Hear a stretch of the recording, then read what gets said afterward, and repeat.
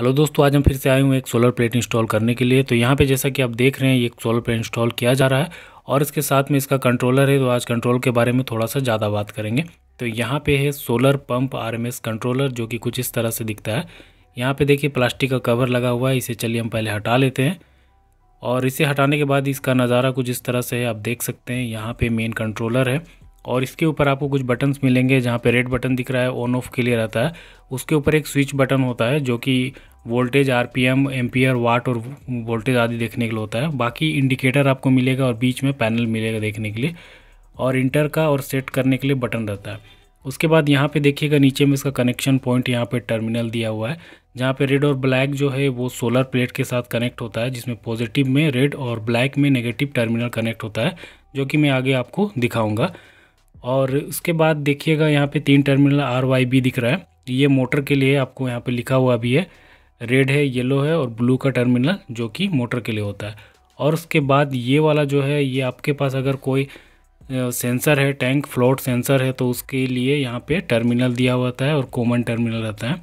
उसके बाद अर्थिंग के लिए ग्रीन वाला टर्मिनल है, जहाँ पे अर्थ के साथ आप इसे कनेक्ट कर सकते हैं। तो इस तरह से इसका कनेक्शन यहाँ पे देखने को मिल जाता है।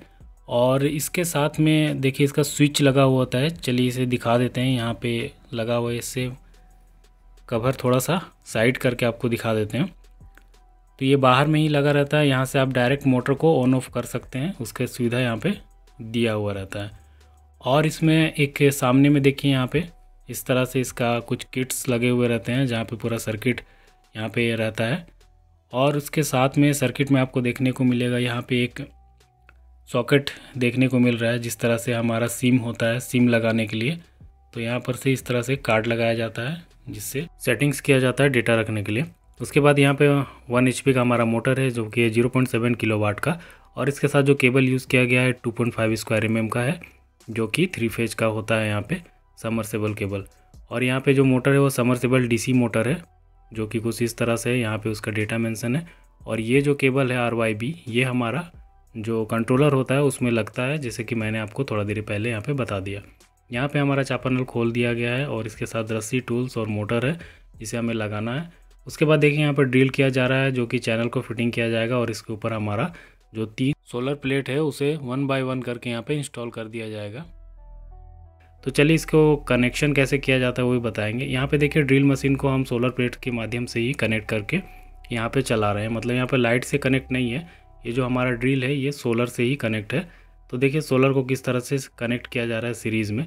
इसके लिए क्या किया गया है कि पहला प्लेट जो है, उसका पॉजिटिव पॉजिटिव टर्मिनल को खाली छोड़ दिया गया और उसके नेगेटिव टर्मिनल को सेकेंड वाले प्लेट के पॉजिटिव टर्मिनल से और सेकेंड वाले प्लेट के नेगेटिव टर्मिनल को थर्ड वाले पॉजिटिव टर्मिनल से प्लेट से जोड़ा गया है। इस तरह से हमें लास्ट में का नेगेटिव टर्मिनल और फ़र्स्ट में पॉजिटिव टर्मिनल मिल गया।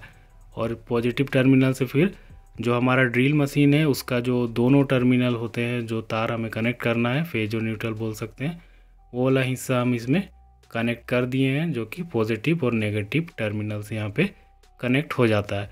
और हमारा ड्रिल मशीन यहाँ पे चलता है, हालाँकि थोड़ा कम स्पीड में चलता है, क्योंकि फ़िलहाल धूप यहाँ पे कम है तो इसलिए हमारा जो ड्रिल मशीन है, वो थोड़ा कम ही स्पीड में यहाँ पे चल रहा है। तो देखिए, यहाँ पे इसका कनेक्टर है, जो कि एम फोर कनेक्टर होता है, और यहाँ पे देखिए, इसमें दो साइड में क्लिप आपको दिख रहे होंगे, उसी को प्रेस करने पे ये खुल जाता है, और खींचने से, और यहाँ से लग जाता है, जो कि काफ़ी अच्छी तरीके से इसका यहाँ पे कनेक्शन हो जाता है।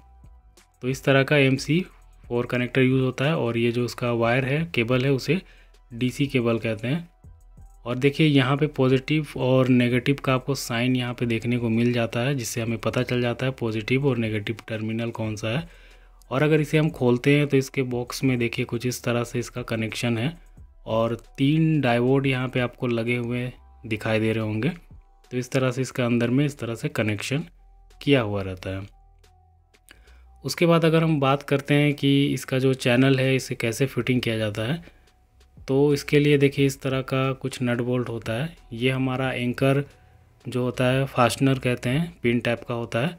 और उसके बाद ये चार इंच का नट बोल्ट यहाँ पे यूज़ होता है। और साथ में दो इंच का जो नट बोल्ट होता है, वो भी चैनल को फिटिंग करने के लिए यूज़ होता है। तो देखिए फास्टनर को कुछ इस तरह से यहाँ पे लगा दिया जाता है।